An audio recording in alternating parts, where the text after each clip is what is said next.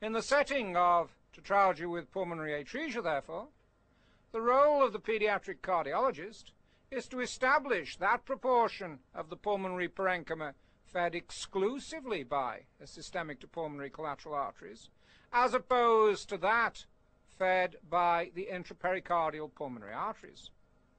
Then, the pediatric cardiologist also needs to establish the number of systemic to pulmonary collateral arteries and where